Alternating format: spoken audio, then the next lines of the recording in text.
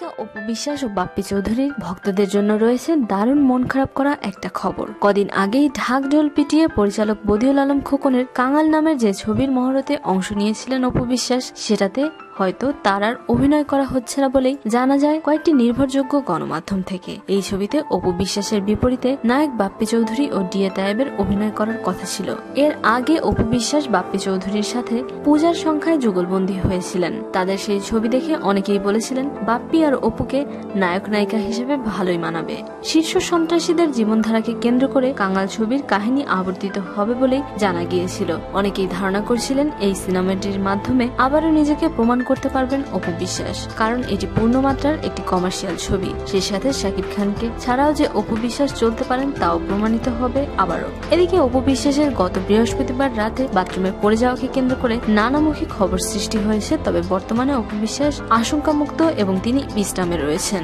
তবে দুর্ভাগ্যবশত কাঙাল ছবিতে হয়তো আর অভিনয় করা হচ্ছে না এই নায়িকার। প্রিয় দর্শক, যারা অপু বিশ্বাস আর বাপ্পি চৌধুরীর একসাথে অভিনয় দেখার জন্য অপেক্ষায় ছিলেন, তাদের হয়তো আরও অনেকদিন অপেক্ষা করতে হবে। কারণ এ যাত্রায় হয়তো অপু বিশ্বাসের আর অভিনয় করা হচ্ছে না বাপি চৌধুরীর সাথে। এ নিয়ে আপনাদের কি মত? সবকিছু শেয়ার করুন আমাদের সাথে। আরও নিত্য নতুন খবর জানতে আমাদের সাবস্ক্রাইব করুন, লাইক দিন এবং কমেন্ট করতে ভুলবেন না।